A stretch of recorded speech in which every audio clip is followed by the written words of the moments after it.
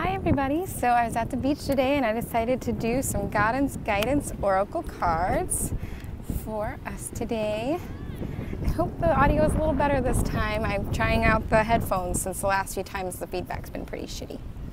So, the cards we got, we got three cards, and the first card we got is Lakshmi, and she's in front of the ocean.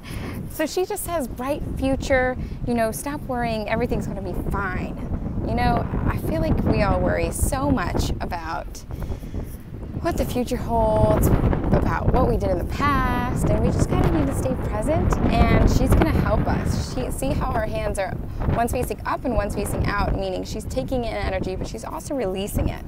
So it's really important that we allow the energy to flow through us. And when those worry thoughts come up, we say, okay, I'm having a thought of worry, and I'm going to let that go now, and you release it. So Lakshmi is going to help us with that. Next we have Ooh, Abundantia. Of course, she is all about abundance. So this is great. She's, we got a bright future ahead of us, and now we also have great abundance flowing into our lives. And I love how the backdrop is kind of like her in the clouds pouring this over what looks to me like the ocean. So another ocean card, at least a little bit.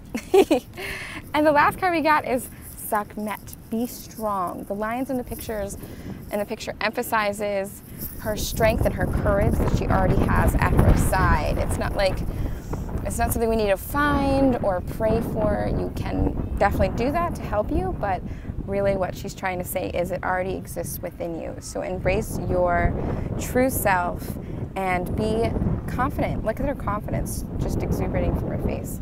Be confident in who you are, already are, and believe that there's a bright future ahead of you full of abundance.